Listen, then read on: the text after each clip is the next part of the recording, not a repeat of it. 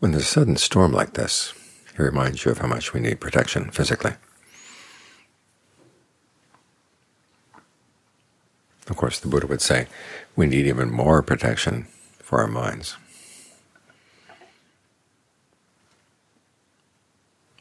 Because the danger is not only from outside. A lot of things we need protection from are inside the mind already. Greed, aversion, and delusion present a lot of dangers. Our wrong views, wrong resolves, wrong actions.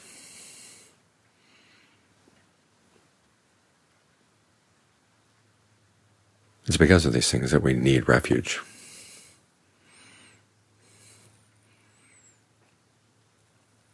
And traditionally we talk about taking refuge in the Buddha and the Dharma and the Sangha. In the Buddha's time it seems to be a common pattern. People who knew nothing about the Buddhist teachings come and listen to them once, and their first reaction is to want to take refuge in the Buddha the Dharma and the Sangha. This may be related to a statement the Buddha made about a teacher's duties to his or her students, one of which is to provide protection in all directions.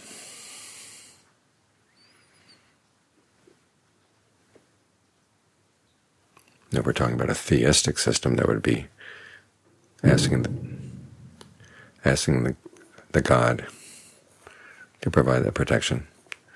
But in the Buddhist system, it means learning to be, be your own protection. We take protection in the Triple Gem, or the Buddha, Dhamma, and the Sangha, as examples for how we should provide protection for ourselves.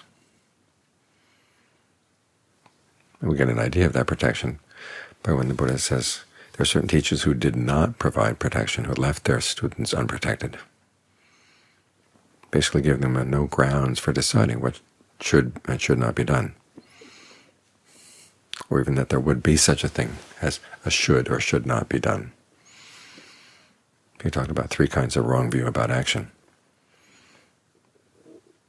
One is that what you experience in the present moment is totally determined by fate. Another is that it was determined by your past actions. In others, it was determined by the act of a Creator God. Now, if the present moment were totally determined, then if you were killing, stealing, having illicit sex, that would be because of fate or your past actions or a Creator God.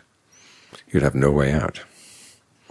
There'd be no grounds at all for even saying that something should or should not be done. From the Buddhist point of view, that is the most dangerous position to be in.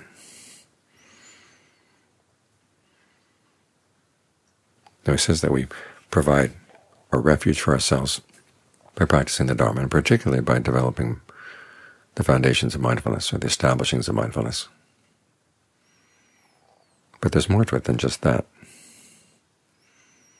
Because first we have to have conviction in the Buddhist teachings. When he teaches about action, that what we experience in the present moment is partly determined by the past, but largely determined by our actions right now.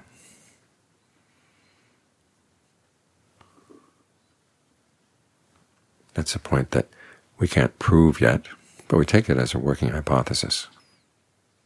And it's part of having conviction in the Buddha and the Dhamma that we take it on. And when that becomes dominant in the mind, the Buddha calls that the faculty of conviction. The Pali word indriya faculty means dominant factor. When that's dominant in your mind, then you're protected. But it's not totally solid unless you develop the other faculties as well. There's persistence, where you actually try to act on your knowledge about the possibilities of skillful and unskillful action any unskillful qualities come up in the mind, you try to get rid of them, and then you try to prevent them from coming back. As for skillful qualities, you try to give rise to them, and once they're there, you try to maintain them. That's another way in which you provide protection or refuge for yourself. And that becomes the basis for the establishing of mindfulness.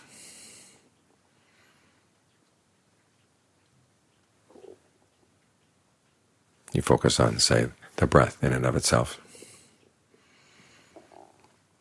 And you watch your mind as you're close to the breath.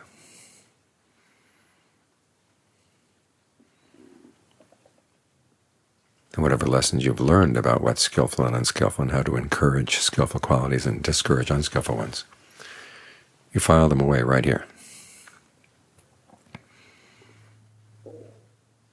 That way, when you focus on the breath, you're right next to where the file drawers are.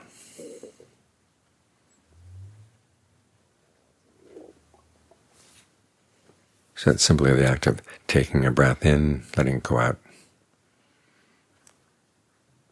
Connect as a reminder. You have these lessons right at your fingertips.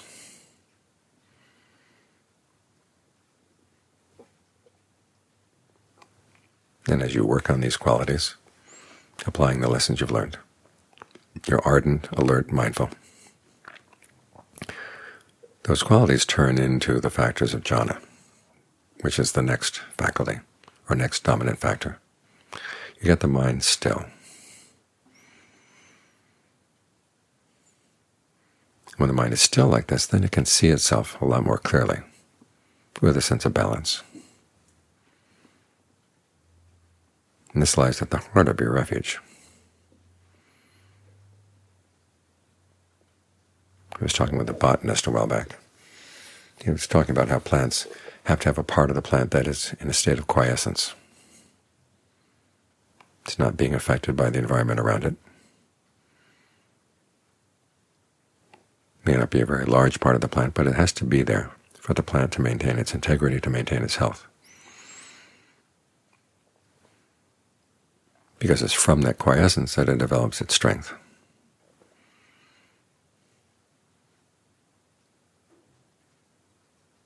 So getting the mind to settle in right here, having a sense of being at home right here, that's your shelter. That's your protection. So when storms come, outside or inside, you have a safe place to go.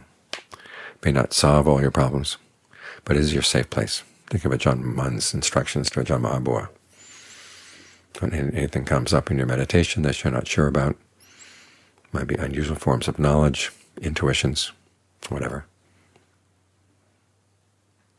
and you're not sure about it, just stay with the knower, he says. That's the quiescent part of just being aware right here.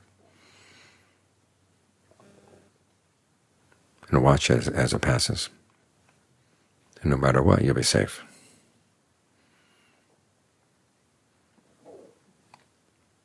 And it may be that you develop some discernment, getting some insight into what really is skillful, what really is not. This is where you take the points that you've learned to take on as working hypotheses and actually begin to see what, when you do it, will lead to happiness, what, when you do it, will lead to suffering. Not as a matter of conviction, but as a matter of knowledge.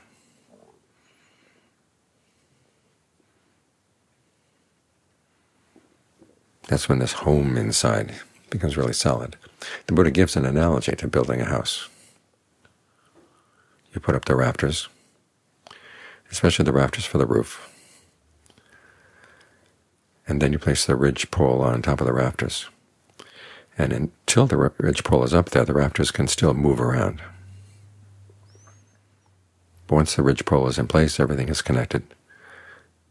Then it makes all the other rafters solid as well. Your conviction becomes solid. Your persistence, your mindfulness, your concentration becomes solid. You've got this place you can ride out the storm. Think of those verses in the. The monk is in his hut, and he says, the hut is well sealed, the roof has no leaks. So if the rain god wants to rain, go ahead and rain. In other words, whatever happens inside or out, you've got your safe spot inside. It's your refuge inside.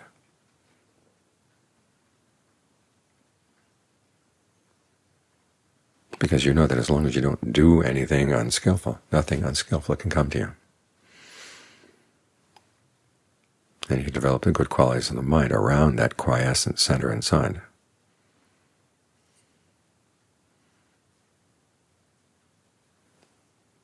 You can develop the skill where you don't have to suffer even from the unskillful things you've done in the past.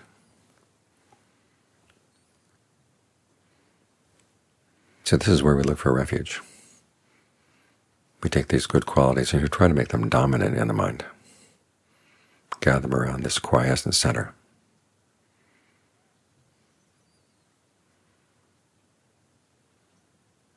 And that'll protect us from any storms.